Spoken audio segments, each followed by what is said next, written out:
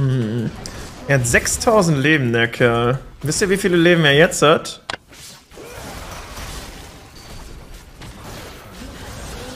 Sechstausend weniger.